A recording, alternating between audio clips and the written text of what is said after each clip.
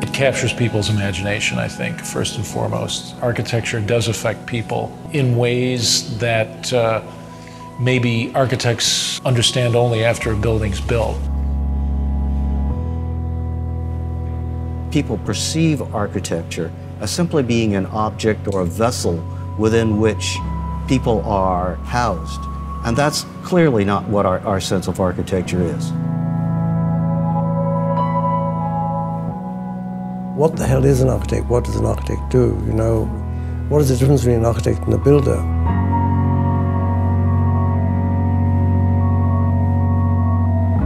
We concretize the world.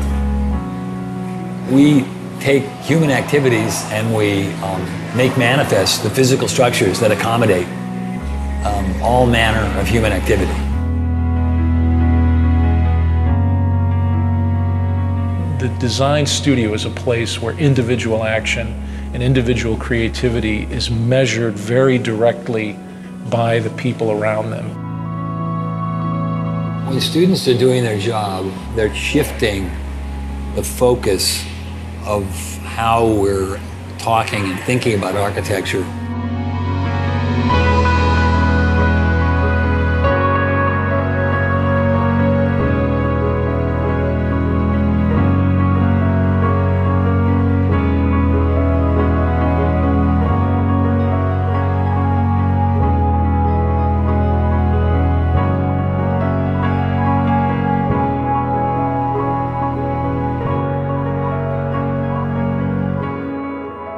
kind of come to architecture school, you sort of have this idea about objects and things like that, and uh, and then once you get here, it becomes all about space and you know all about occupation. People sort of see a lot, you know, architecture sort of sculpturally, and there's a point at which you stop dealing with objects, you know, sort of things to stare at, and you start dealing with occupation. I have a lot of friends who find it really hard to understand like my schedule here and how we function here and being here at strange hours of the day and working environment and what studio space is like. And a way of working too. You Yeah. know, that's really important. Yeah. So And also the idea of being critiqued. Like being critiqued is it's a foreign a concept really, to a really business student. concept. you know. Yeah. The design studio is a place where students have to perform on their own. They have to create something from their own imagination. They have to create something in response to a set of problems that are either given to them or they have to even invent the problem.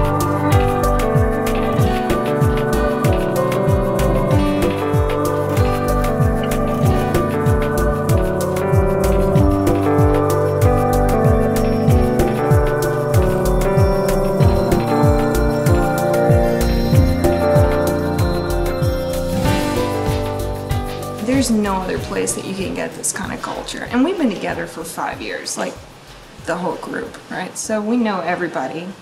Everybody knows everything.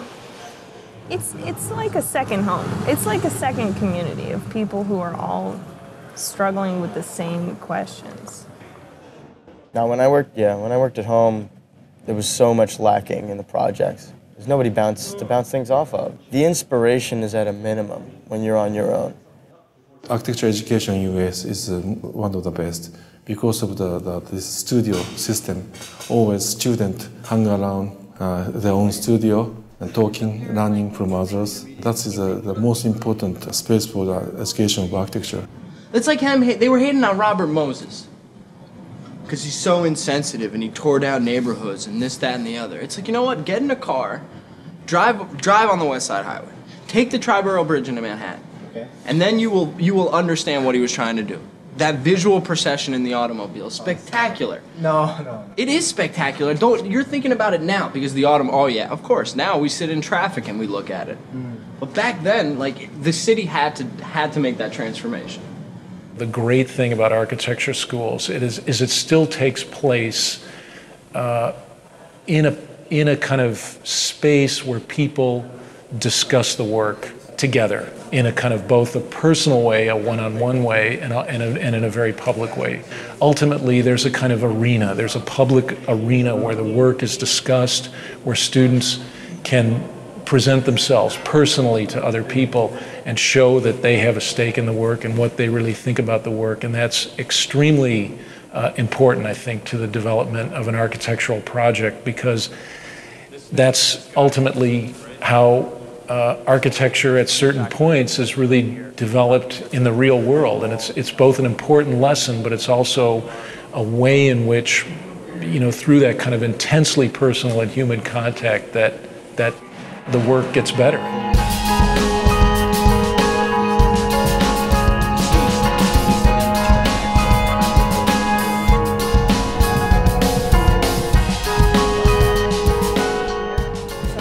I think a lot of the culture of studio happens at the most random times, like the most random hours. I hope that yes. I think the humor adds another level of energy, you know, that you can bring. So you got moments where you know we're all like joking around and yeah, we're doing the work and we're joking and we're vibing and whatever. Some guy will come in here like, well, you know, that's why you you guys don't get any work done because you're always doing the shit. And you're like, the f- you, go and do your project then and like you know live in your little little world by yourself because the humor brings the interaction and the interaction brings the energy and the energy you know creates an output between everybody you know that that that uh is that f- it, we can all feed off of Don't, forget- don't forget, D. The boss.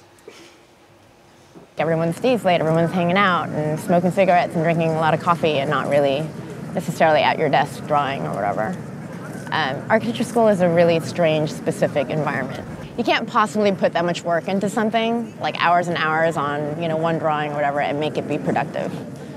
You know, you could tell an architect that it's due tomorrow, and they'll put in the 12 hours, and it might actually look the same as if they spent a whole week on it. You know.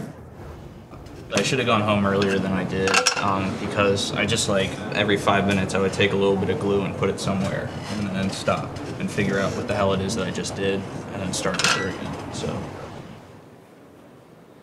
have this this like terrible thing that happens to me that, that I call the design high, where I can't fall asleep because I can't stop thinking about my project.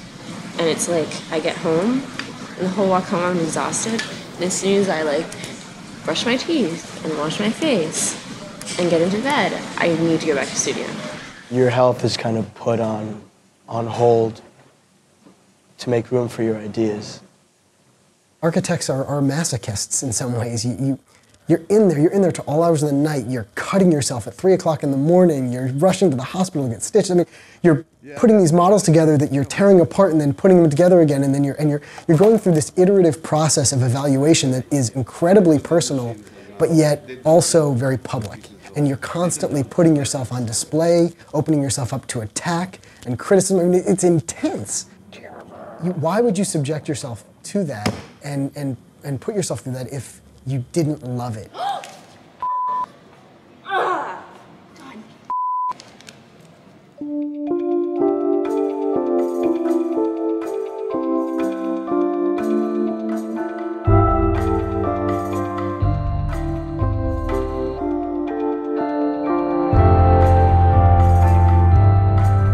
That's a conceptual mistake.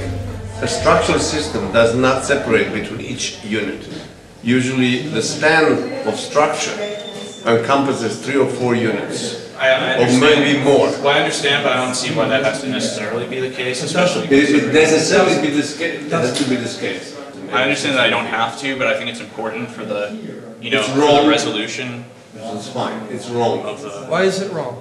Tell us why it's wrong. Economically, It's not wrong. It's Systems- we could critique his whole project in terms of No, the economy. Of but you've done.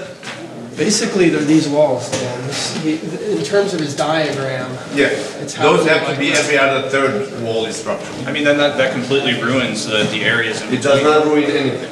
It wasn't necessary to have that conversation. The point was made, and then that's it. I understood the point. They understood my, or I thought he understood my point. I thought that should be the end of it, and then there were more important things to talk about, and other people that had to talk to them, you know, and still talking about it for 20 minutes.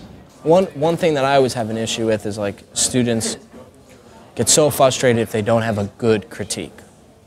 I think they, I think they misinterpret what a good critique is. I mean, by definition, it's a critique, it's a criticism.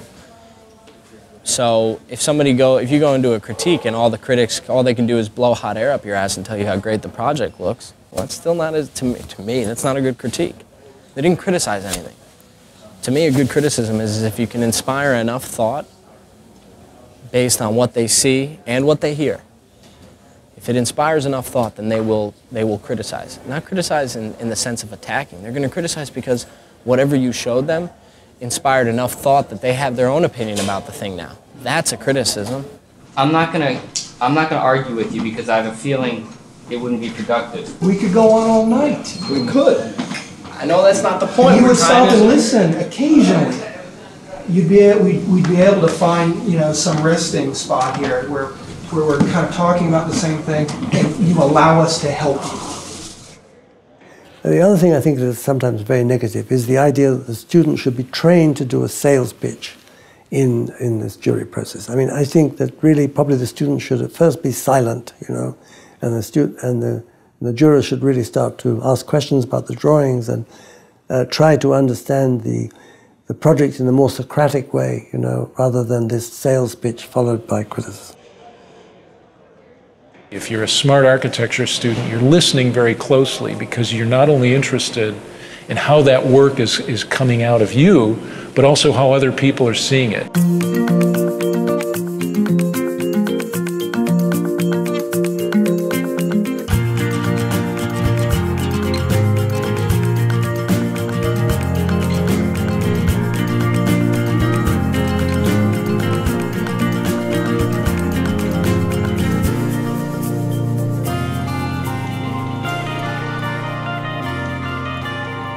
The best architects, in my view, are the ones who bring a coherent view of the world to design. Those are the folks that become the best architects in the sense that they're the ones that progress the profession, innovate, create new ideas. The most important thing about being an architect is learning how to think clearly. You have to be able to think clearly to practice architecture. There's a tendency to see people as singular. If you're artistic, you're not practical. If you're practical, you're not artistic. That, that- that's totally preposterous. I mean, architecture is embedded in both worlds. And if anything, architecture is the um, connective tissue between these two kind of spheres. And it'd be impossible to live in one or the other. One, you'd be practical and never produce a piece of work of any interest. The other, you'd be producing work that has no meaning or no connectivity. I think design requires a certain kind of smartness that holds those schizophrenic views simultaneously uh, in, in one's thinking. Even as a young person, you, you know whether you can do that. And, and as you mature, it's quite rewarding to have those, those opposing views in your mind at all, at all times. There's not just one role for an architect. There are all different kinds of contributions an architect can make in the, in, in the culture. The question of what's a good architect, I think that there are many different perspectives that come at a project as it's developing. And what's important for the architect is to be able to listen to people outside of themselves and take that and then give something of themselves to a project and make something incredibly unique and wonderful. It has to be a person who's who's really willing to learn in a way that architects need to learn, which is they need to learn something every day for the rest of their lives. You've got to be, in a sense, uh, kind of driven by that, in, in a sense, kind of inner force. But I think you always, you, you, you also have to have the ability to kind of work through something and to be able to look at particular problems and be able to kind of listen and learn and examine with, with great patience some of those questions. So again, it's a kind of left brain, right brain kind of dichotomy that is, you know, constantly, those demands are constantly placed on you as an architect.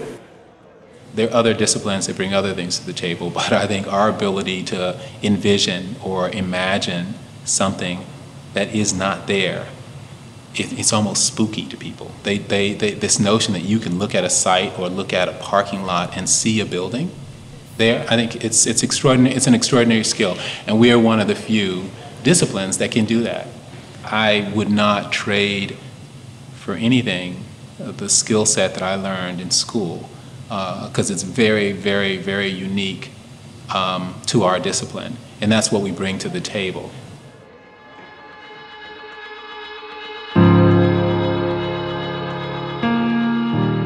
Don't believe schools of architecture, either historically or today, have particularly prepared young architects for the realities of architectural practice. Again, referring to this notion of a safe space where one can fail, where one can push the envelope in a sense. I think the academy always needs to be that. In a certain sense, you're a bit freer of the constraints of the real world.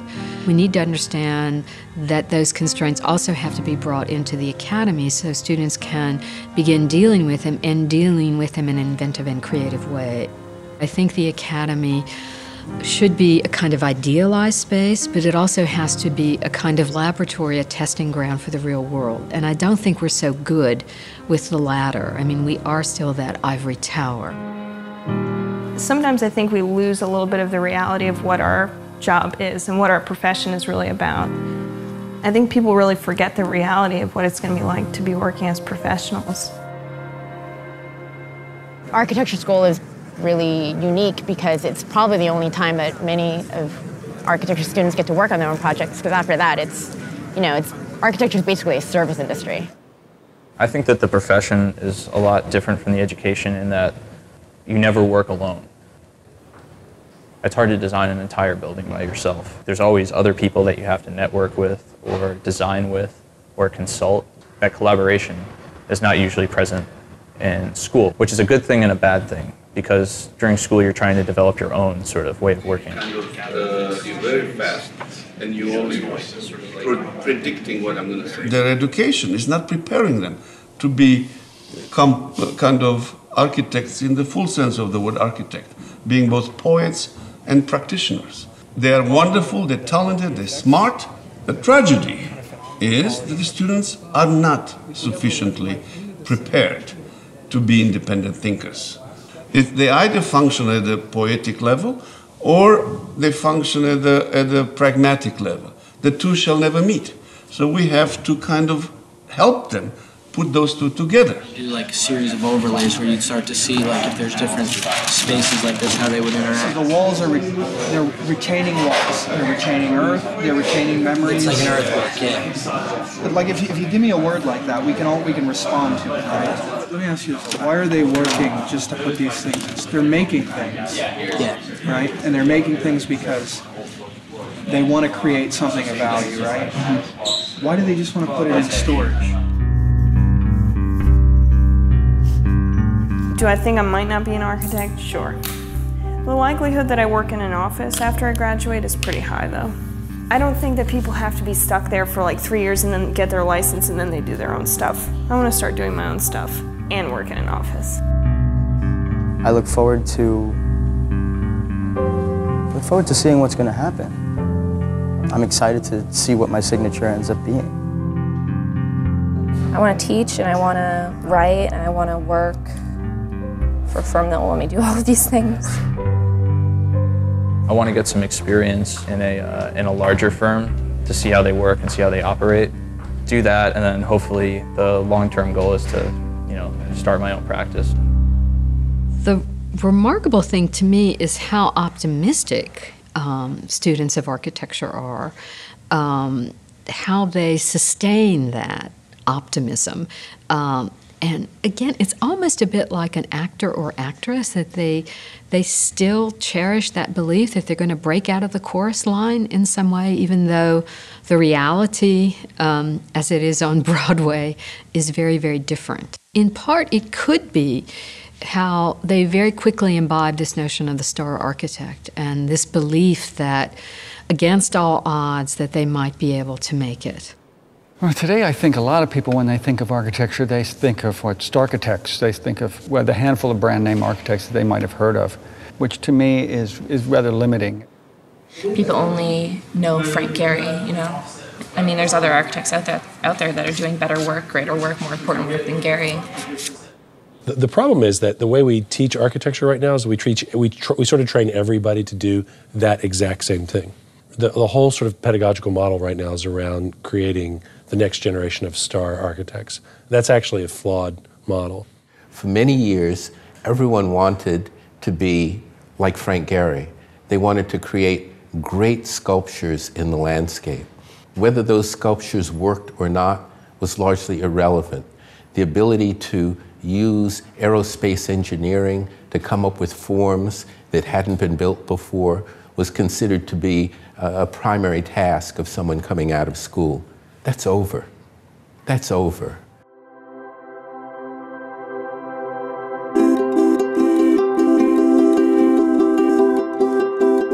I would argue that this current generation of uh, beginning students of architecture have the capacity to reshape a world like we've never seen before. And, it, and they need to have access to as much technology and as much discourse, meaningful discourse surrounding these techniques and these tools so that they're fully prepared to go out into the world in the future to do something positive and productive. Students are coming out, they're working with individuals around the world who need shelter and who need ways of living that are affordable and supportable and sustainable. The students themselves have been pushing to force faculty to think differently about the way faculty see the environment, use the environment, and create objects that serve not just the aesthetic interests of the architect, it's fundamentally an optimistic profession. Um, you don't go into architecture if you're a pessimist, if you don't actually believe that uh, the world can get better. So I think you've got a bunch of optimists that go into this design profession who actually believe that their buildings are going to make the difference in somebody's life. I think that the built environment is something that people have such an appreciation for. If you don't care about this, then like what do you care about? It's about understanding human behavior, human desire, human want. Architecture is what you experience in your daily life on the street, the space of the street, how you navigate the street, how you relate to the buildings around you. People tend to think architecture is done for and by other people. But it's, you know, it's also done by you if you decide to maybe put a new window in your house or change the, the traffic flow in your house or your office. At architecture school, you got the freedom to, you don't like something, do something about it. That's what they told you for five years. Do something about it. Doesn't matter what, just do something about it. The school is kind of about a way of thinking, and what you're going to do in architecture school is not what you think it's going to be, you know? That you're not going to go in there and, and you know, be designing uh, colonial homes and things like that we don't just need shelter, we need atmosphere and we need to be inspired. I think one of the most important things you can take from this school is not to lose your ambition. It's not just, you know, four walls and a roof. There's, there's more into it. There's like a life to it that I think we get here and um, we should really take with us everywhere you go You're gonna come to architecture school, I hope, I hope you understand the creative process. I, I hope you understand the transformation that your mind and body and psyches is gonna go through. Because there is nothing absolute about this.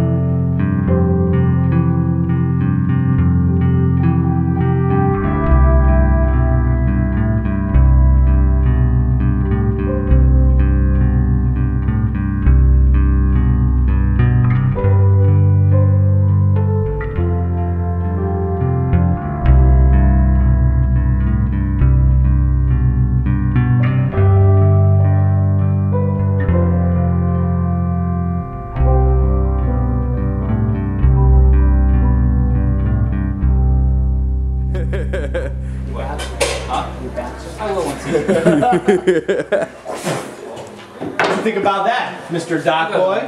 Yeah, making a movie, huh? Yeah, sure you are.